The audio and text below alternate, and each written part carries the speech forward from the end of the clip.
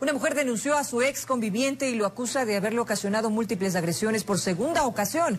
Esta vez sufrió ella cortes en su abdomen, pierna, brazo y rostro. Más que mi infierno es una pesadilla, más que mi infierno es una pesadilla.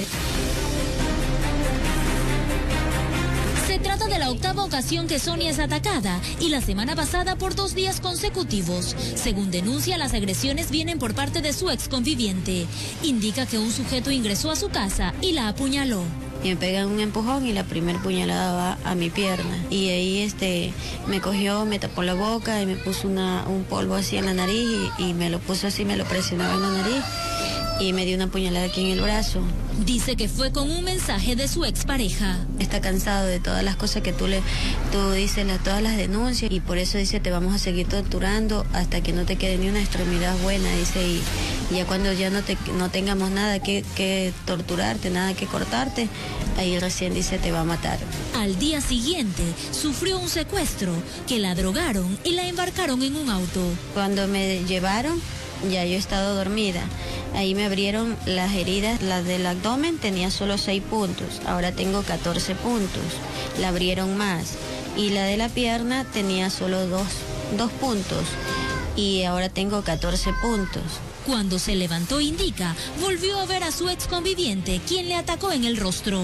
Y ahí Juan me cogió y me rayó la cara y me dijo esto, me dice, es para que dice, nadie te mire, yo te voy a torturar hasta que tú dices, no me retires los cargos porque una muerta de hambre como tú no me va a ver tras las rejas. Sonia relata que se separó de él hace cinco años por los maltratos que recibía y puso una denuncia en su contra en agosto del 2010.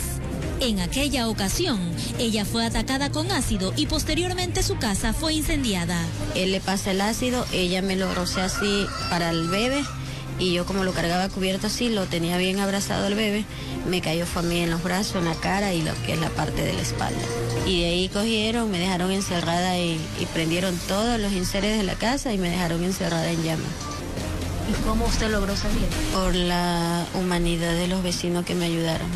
Dice que durante estos años ha vivido presa del pánico. No tengo tranquilidad porque él sigue prófugo y no sé en qué momento va a venir vuelta y me va a volver a hacer más daño del, del que ya me ha hecho. Y pide justicia. Para que él sea capturado y no me siga haciendo daño.